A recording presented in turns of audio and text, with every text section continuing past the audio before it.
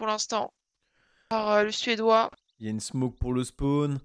Logiquement pareil, hein, la situation est une nouvelle fois idéale côté français. Pas être naïf d'un joueur qui vous fait les fesses. Je vois qu'on s'engage tous sur le BP. J'aurais bien aimé voir un joueur, voilà, reprend l'information au niveau de ce donut. Oh non, Flushak attrapé Adji. Non, Et du coup, ça bête complètement Svedjed. Et on se retrouve une nouvelle fois en 2v1. Pour Kenyes Est-ce que cette fois-ci il peut le remporter? C'est maintenant 1v1 pour lui. Flushak il n'a qu'un MP9. Il tente de désamorcer la bombe, mais ce n'est pas repéré. Allez, enfin, c'est repéré. Il, il a vu qu'il n'y avait pas les fils. Il est trop bien, Ok, Kenyes. ouais, il il s'est est refaxé trop dans la box.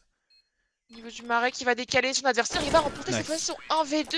Oh, on a failli. Stro, une nouvelle fois, quand même.